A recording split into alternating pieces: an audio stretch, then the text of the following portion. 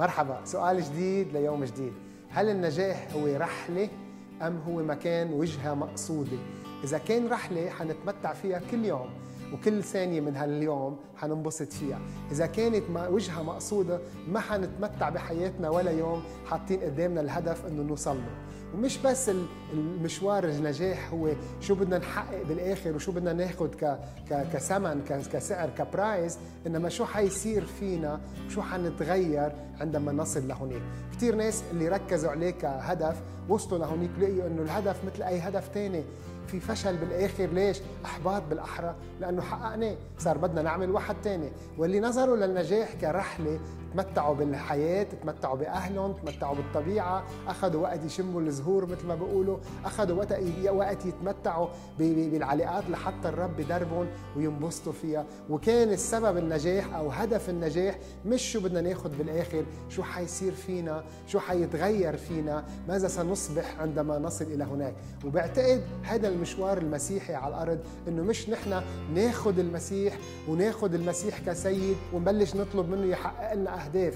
اعمل لي واعمل لي واعمل لي وثلاث أرباع صلواتي أنا بأول بداية إيماني كانت اعمل لي يا رب شو بعمل يا رب؟ قل لي يا رب ليش؟ لأن كان عندي مخطط لحياتي وبده يجي هو يبارك. حياتي.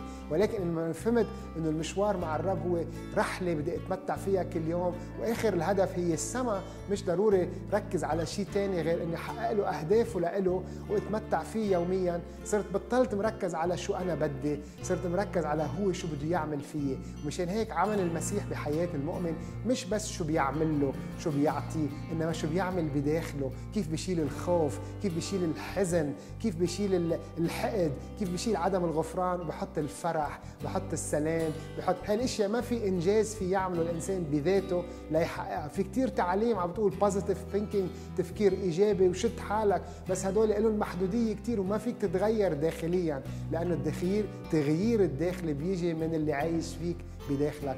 أي الروح القدس بروحك فمن بتعرف هالشيء النجاح صار له غير معنى والنجاح بطل شو أنا بدي أعمل بحياتي شو بدي شو الرب عمل بحياتي كيف أنا بدي أستسلم أكثر وأكثر وخليه وبنفس الوقت أتمتع يوميا بهالحياة أتمتع بالحياة المسيحية يوميا. مشان هيك هيك هو هو هيك قال لندخل إلى دياره بالفرح بالحمد بالتسبيح. ليش؟ لأنه إذا داخلين محبطين مركزين على ظروفنا أو شو نحن بدنا نعمل وما عم يطلع بإيدنا حيكون في إحباط. بس إذا داخلين عارفين إنه هو قرر كل شيء وخطط كل شيء وعمل كل شيء بننبسط إنه مخططه الأفضل لحياتنا ونجاحنا مضمون لأنه يلي ضمنه هو الرب اللي خلقنا. وما في مجال يفشل الله. ليش؟ لأنه هو النجاح بذاته. فأنا بدي أعيش هالنجاح. أنت بدك تعيش هالنجاح كرحلة تتمتع فيها يوميا وتخلي الرب يعمل عمله ولا بدك تحط أهداف وتوصل لهونيك تلاقي ما في شيء؟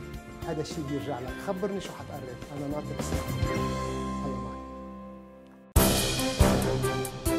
إذا كان عندك أي سؤال أو استفسار حول موضوع اليوم ما تتردد اتصل فينا على العناوين التالية فيسبوك نيو داي شو واتساب 0096171